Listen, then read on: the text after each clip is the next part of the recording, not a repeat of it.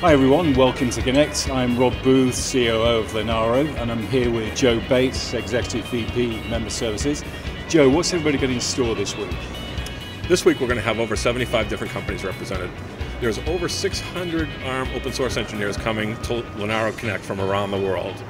It's going to be really exciting. There's lots of interesting sessions and lots of different code sprints. We're going to have some fun while we're here too.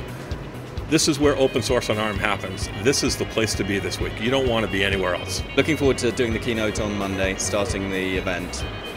Um, we're going to talk about uh, some of the changes between Linaro from when it started and now here, four years later. Um, also going to do live demos on stage for the first time, so that's going to be exciting.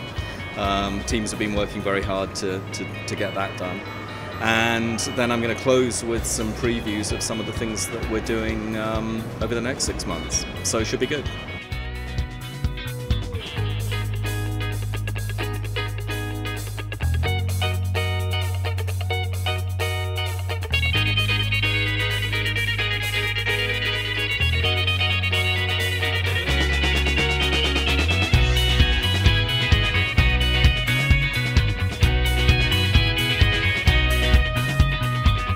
I'm looking forward to spending a bit of time in the technical sessions of the morning, particularly the kernel and the scheduling stuff, but also boot architecture. Basically, a chance to go back to my roots and listen to people that write code, because I write so little code these days. Um, I'm also looking forward to, strangely, you might not imagine this, but looking forward to the committee meetings, particularly the ones where we get a bit technical and look deeply at benchmarking and stuff like that.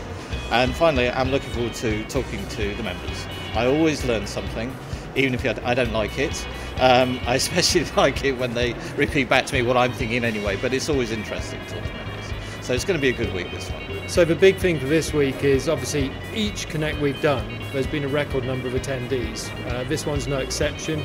We're probably 100 up on the last time with over 500 attendees. Um, from about 75 companies. So that's a big jump as well. And that's going to be because of the different events we've got happening in different spaces, networking, servers, um, the home, mobile, all of those different things. Key thing are going to be the engineering events every morning and the hacking in the afternoon and things where we imagine that the total number of people we've got is going to mean every single session is absolutely buzzing the discussions are really rich and there's a lot of debate happening, which is one of the key things for this event. So one thing we're doing differently this time is we've had um, summits that were focused on a key topic. This time we're actually doing, uh, each day is going to be focused around a theme day for a segment group.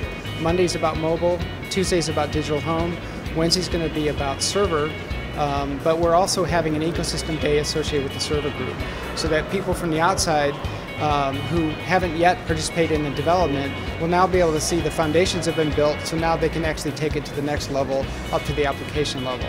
So people who haven't been involved before will now be have access, access to experts and also the equipment.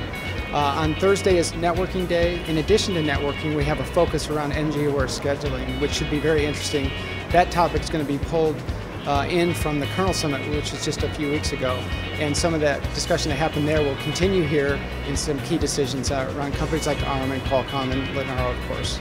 And then Friday is going to be a summary wrap up of all the key things that happened during the week and where we're going from that point forward.